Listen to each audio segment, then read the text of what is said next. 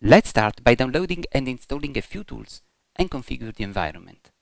For simplicity, I created a third folder in my C disk just below the root where we will store the files we elaborate during this presentation.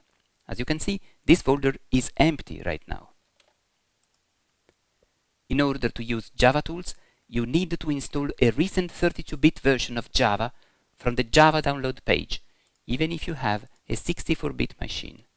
In my case, I installed version 7 update 17, which is the latest version available right now. Then I downloaded the Jetty library, which I will use to convert a PFX into a JKS file whose format is usable by a Java-based server like Apache Tomcat. You don't have to install it, you just have to download from this page and then extract in the same folder we saw before, as I'm doing in this case.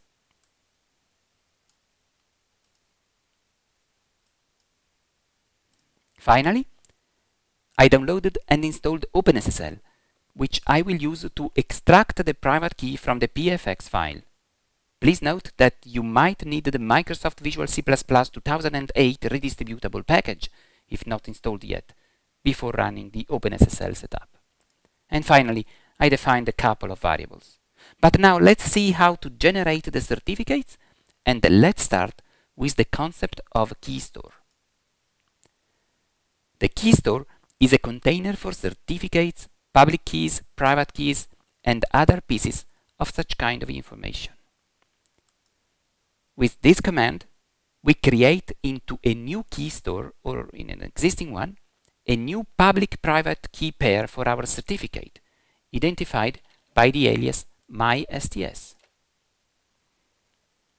Let's do it. This is the command that we have to run, and then we have to answer a few questions, like the key store password, and then this is the most important question of this wizard, because the first last name value must match the public host name of the server where the SSL certificate is published, which in my case is sts.mydomain.eduteamit.com. And then reply whatever you want to the next questions, like the organizational unit, the organizational name, which I'm inventing, my city, my province, my country, information are correct. And finally, I have the possibility to specify a new password for the certificate contained in this key store.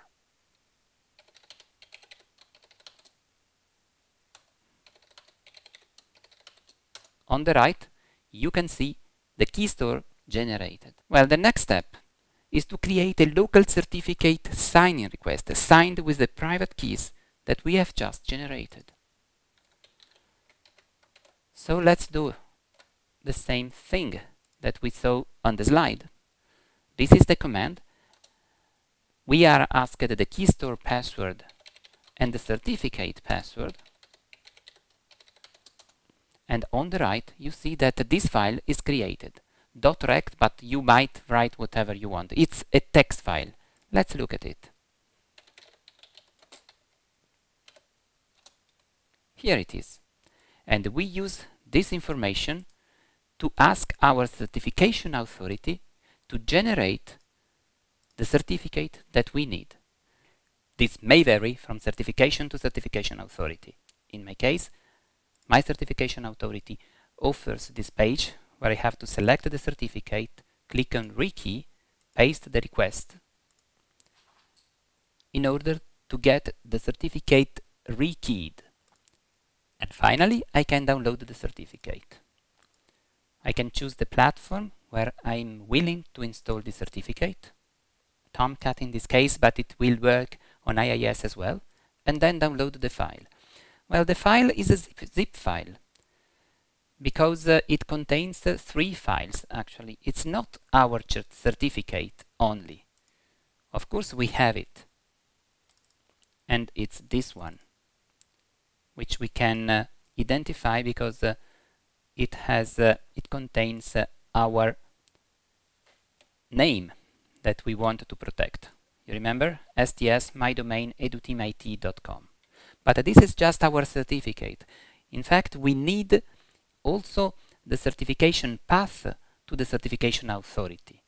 So we need the root certificate and we need the intermediate certificate, which are these ones on the right.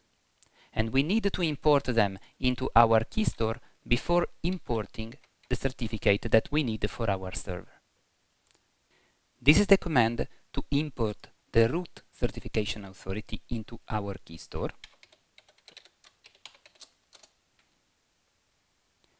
And then we need to run this other command in order to import our certificate and the intermediate certificate into the key store.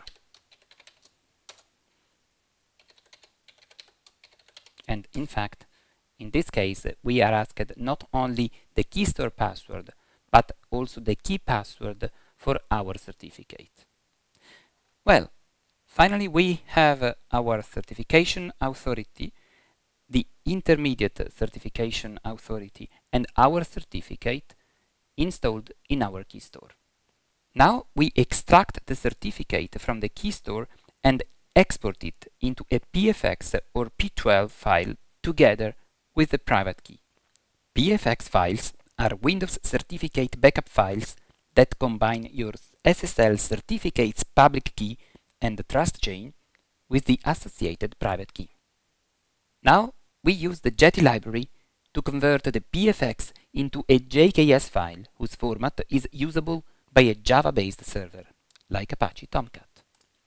This is the command. This is the password.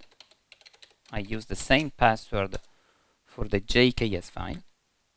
And as you can see, the JKS file is generated here. We miss just one file to be complete. In fact, the very last step is to extract the private key, the private key, from the PFX file and save it into a new file. We will use the OpenSSL and this is the command.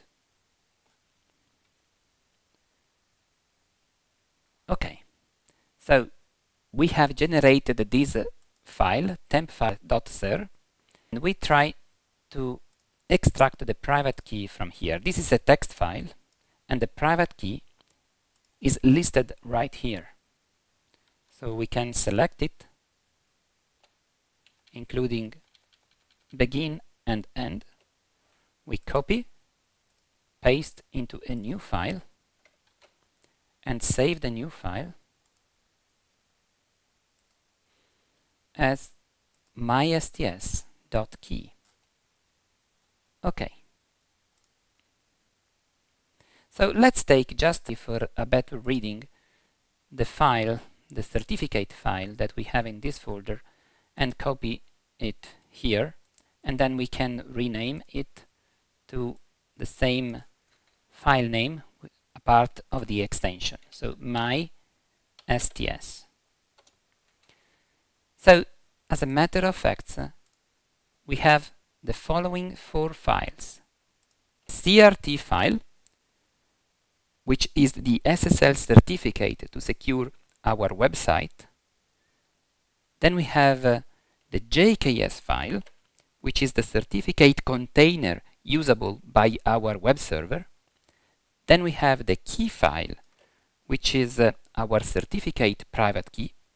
And finally, we have the PFX file, which is the Windows certificate backup file. Now, to avoid any confusion, we can even delete all the files that are not necessary in this case. So we leave only these four files and we delete all the rest.